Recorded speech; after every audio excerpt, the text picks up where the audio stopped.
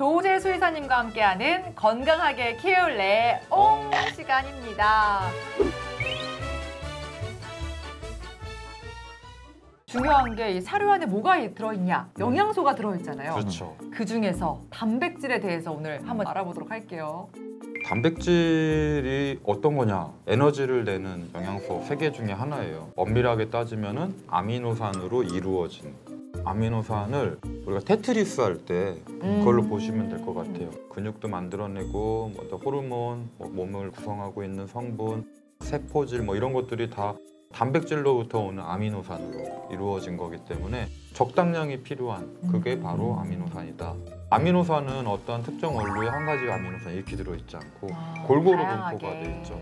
그래서 네네. 사료를 만들 때나 주식을 만들 때 단백질 원을 주로 한 네 가지에서 다섯 가지 정도를 섞는 이유가 그 균형 맞추려고. 아.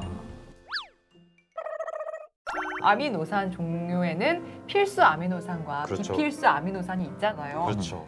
외부에서 들어와야 되는 필수 아미노산이냐 아니면 몸에서 합성할 수 있는 비필수 아미노산이냐에 따라서 네. 아르기닌서부터 류신, 아이소류신, 라이신, 뭐 발린, 트리토판 뭐 이렇게 음. 가지고 쭉 이렇게 있고 각각의 최소량 음. 넘지 말아야 되는 양 이거를 개는 이렇고 고양이는 아. 이렇고 거기에 맞춰서 이제 주식을 만드는 거예요. 음. 외부에서 들어와야 되는 필수 아미노산의 종류가 몇 가지냐 음. 이걸로 육식 동물과 초식 동물, 잡식 동물로 나눕니다. 아. 사람은 잡식 동물과거든요. 음. 네네네. 근데 고양이는 육식 동물. 그럼 그런 것들이 이제 필수 아미노산이라고 네. 할 수 있겠는데 그런 게 결핍되면 음. 어떻게 되나요? 우리가 흔히들 얘기하는 영양결핍증, 음. 영양실조, 특정 아미노산 부족으로 인해서 나타나는데요. 피부 쪽에서 제일 먼저 나타나겠죠.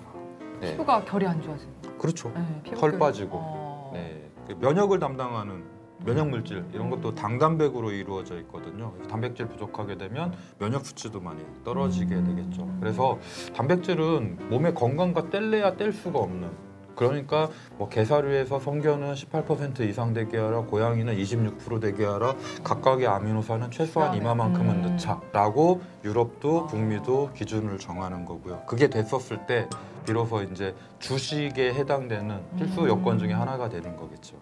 어. 그래서 아미노산은 상당히 중요한. 중요하네요. 고양이가 여러 번 밥을 먹는 이유. 오? 오? 어, 그게 단백질이랑 아미노산 연관 있어요? 예. 어. 개는 하루에 몇 번 먹죠? 멍피디님? 두 번이요. 그 어린 강아지들은 세 번 이상 먹거든요. 고양이는 하루에 몇 번 먹냐 물어보면 다섯 번에서 30번. 어, 30분? 예, 여러 번 나눠 먹어요. 그 이유가 바로 아미노산인데 사람과 개와는 다르게 어떤 아미노산을 자기가 스스로 아. 합성을 못 해요. 그러니까 그 아미노산은 어디서 와야 하냐면 동물성 단백질의. 근육, 고기에서 와야 되는 거예요. 어. 이걸 뜯어 먹어야지 고양이는 사는 거죠.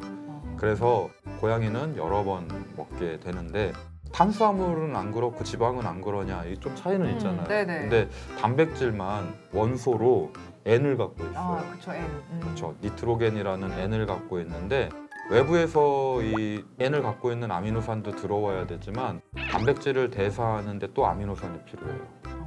그 N이 몸에 해롭지 않은 걸로 바꿔주기 위해서. 바꿔주기 위해서. 그래서 이 N이 되게 중요하고 단백질이 중요하기 때문에 단백질도 몇 퍼센트 이상 들어가야 된다. 음. 하지만 이 단백질을 구성하고 있는 여러 가지 아미노산도 같이 필요 충분 조건으로 들어가야 된다.